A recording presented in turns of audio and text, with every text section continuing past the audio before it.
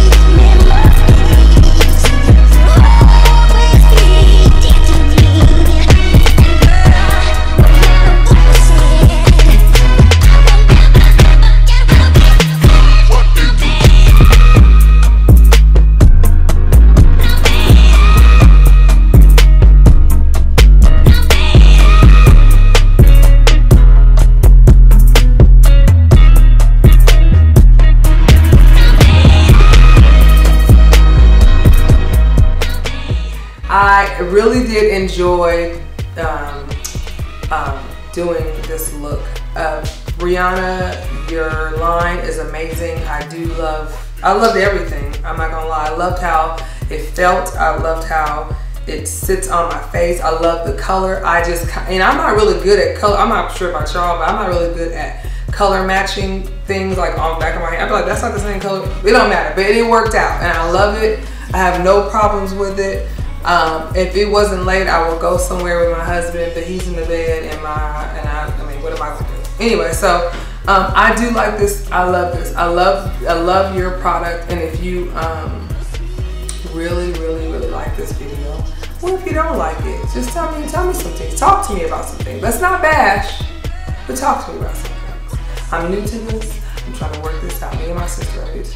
So we have a lot more content coming for you guys. I'm going to be showing you how I make wigs. I'm going to show you more um, uh, makeup tutorials. I'm not really a lipstick person, but my sister is, and she's going to show you some lipstick um, um, colors for her shades and what she thinks looks good. I think it looks good on her. It just looks hot mess on me. But anyways, so thank you for watching. I love you all, and may God bless you all. Bye, brownies.